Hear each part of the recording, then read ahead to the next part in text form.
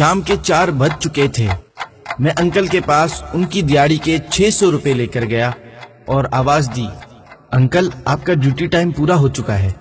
انہوں نے میری طرف دیکھا، اس شدید سردی میں بھی ان کے چہرے سے پسینے کی بوندیں ٹپک رہی تھی انہوں نے اپنی پھٹی ہوئی کمیز کے دامن سے چہرہ پہنچا اور بولے، میں نے دو گھنٹے اور کام کرنا ہے۔ بھائی سے پوچھ آؤ نا، دو سو روپے زیادہ مل جائیں گے؟ میں نے ہم ہی بھر لی اور وہ پھر سے کام میں مصروف ہو گئے۔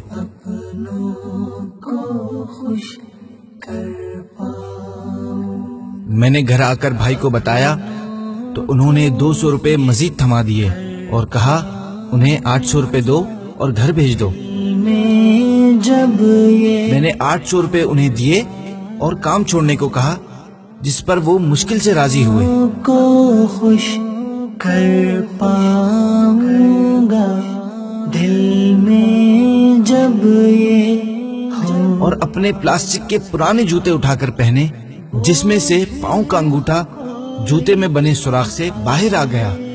انہوں نے شکریہ ادا کیا اور چل دیے۔ ان کے چہرے پر سخت تھکاوٹ کے باوجود فاتحانہ چمک سی تھی جس نے مجھے تجسس میں ڈال دیا۔ انہوں نے نیچے دیکھا۔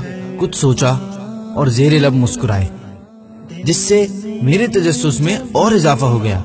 میں نے انہیں روک لیا اور ان کے پاس جا کر مسکرانے کی وجہ پوچھی۔ اصرار کرنے پر انہوں نے بتایا، کل گاؤں میں شادی ہے۔ بچوں کی امی نے نئے سوٹ کا مطالبہ کر رکھا تھا، اس لیے پریشان تھا۔ الحمدللہ، اب پیسے پورے ہو گئے۔ جاتے ہوئے ان کے لیے سوٹ لے جاؤں گا۔ بس یہی سوچ کر مسکرا پڑا۔ اسی نمی کے ساتھ اسے الوداع کیا اور یہ سوچتا ہوا گھر کی طرف چل دیا کہ ایک شوہر اپنے گھر والوں کی خوشی کی خاطر کیا کیا کر رہا ہوتا ہے۔ اگر اس کا اندازہ گھر والوں کو ہو جائے تو اس کی راہ میں آنکھیں بچھانے لگیں۔ امت پر مہربان، آقا صلی اللہ علیہ وآلہ وسلم کا خوبصورت فرمان۔ اللہ پاک اس عورت پر نظر رحمت نہیں فرماتا جو اپنے شوہر کا شکر ادا نہیں کرتی۔